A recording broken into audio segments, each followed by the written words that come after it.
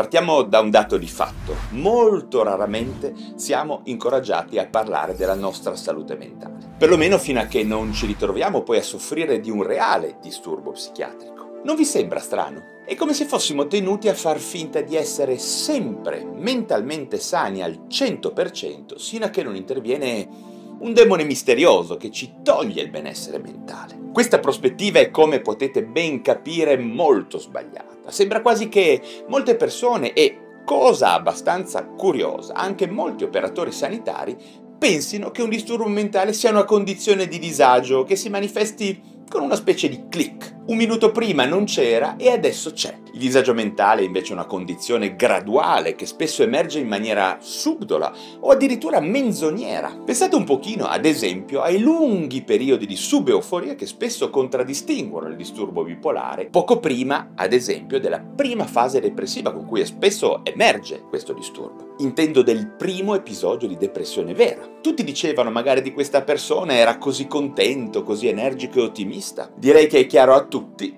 in questo caso specifico perlomeno, che nella nostra società una persona molto energica che lavora come un mulo senza farsi troppe domande, con delle note di ipersessualità magari che spende e spande facendo mutui a destra manca senza pensare al futuro, beh, che dire, non è forse il cittadino perfetto? Il consumatore perfetto? Bene, è piuttosto chiaro a questo punto che ogni nostro evento psichico e comportamentale andrebbe sempre considerato come normale o patologico in rapporto soprattutto alla nostra storia personale, no? Alcuni di noi sicuramente nascono con una maggiore vulnerabilità genetica, che però può essere sicuramente attenuata o amplificata da uno stile di vita specifico, ormai lo sappiamo. Ma tutto questo lavoro di prevenzione può essere attuato solo se consideriamo molto sottile, quasi impalpabile, la differenza tra normale e quasi patologico, anche francamente patologico. Diciamo che c'è sempre una scala crescente di peggioramento dei sintomi che porta poi a superare a un certo punto il limite della tollerabilità individuale e certamente della tollerabilità della società in cui viviamo, non nei confronti del nostro essere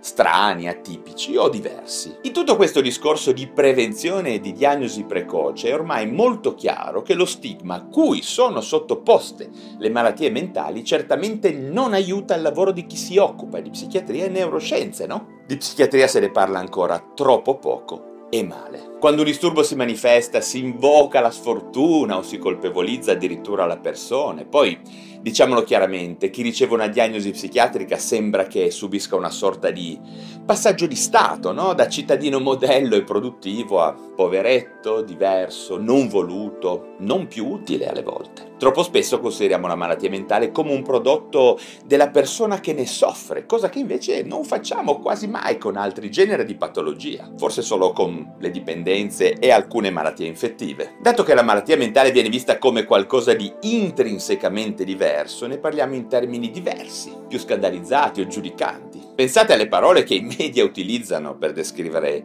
il male oscuro, il mal di vivere, il concetto di raptus che spesso è scritto sui giornali. I media e le riviste a volte scrivono di celebrità che confessano di soffrire di depressione, ansia, disturbi alimentari, dipendenza, no? Come se si trattasse di cose vergognose o di crimini. E troppo spesso molti crimini veri e propri sono considerati il semplice prodotto di una malattia mentale, ultimamente azioni di guerra, rapine, abusi sessuali, incidenti stradali vengono frequentemente inseriti in un contesto semplicistico di problemi di salute mentale o dipendenza, insomma, come se fosse quella la sola condizione che li ha generati, no? Come se chiunque avesse un disturbo bipolare automaticamente fosse a rischio questo di uccidere la madre o il padre. Non è così chiaramente. In realtà noi sappiamo bene che le persone che soffrono di problemi mentali hanno in realtà molte più probabilità di restare vittime di un crimine piuttosto che di compierne uno. In una parola, stigma.